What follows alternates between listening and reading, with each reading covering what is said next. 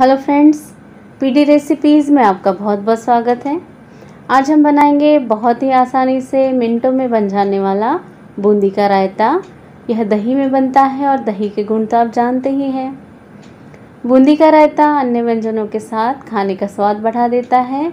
यह एक बहुत ही लोकप्रिय और स्वादिष्ट रायता है, जो कि बहुत झटपट बन जाता है। इसे मुख्यतः रोटी चपाती, पुलाव या बिरयानी के साथ परोसा जाता है। बूंदी का रायता बनाने के लिए सबसे पहले एक बर्तन में सादा पानी लेंगे और उसमें बूंदी को पाँच मिनट के लिए भिगो देंगे। अब एक बर्तन में दही लेंगे। इसमें थोड़ा सा पानी डालकर इसे अच्छे से फेंटेंगे।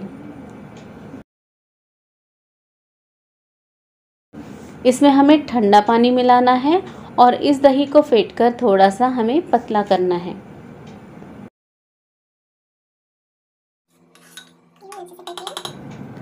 अब हम इसमें डालेंगे थोड़ा सा लाल मिर्च का पाउडर थोड़ा सा सादा नमक थोड़ा सा काला नमक। अब जो बूंदी हमने भिगो कर रखी थी, उसका पानी निथार लेंगे, इसे छान लेंगे।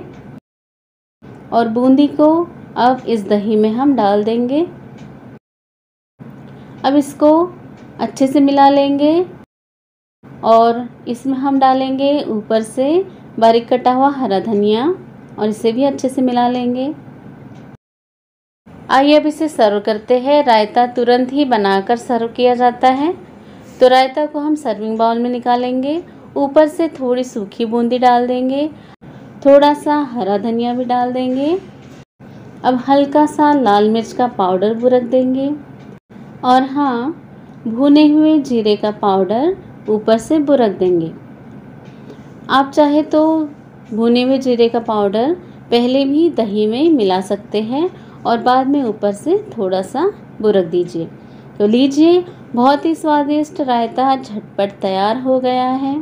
फ्रेंड्स, वीडियो पसंद आई हो तो लाइक करें और चैनल सब्सक्राइब करें।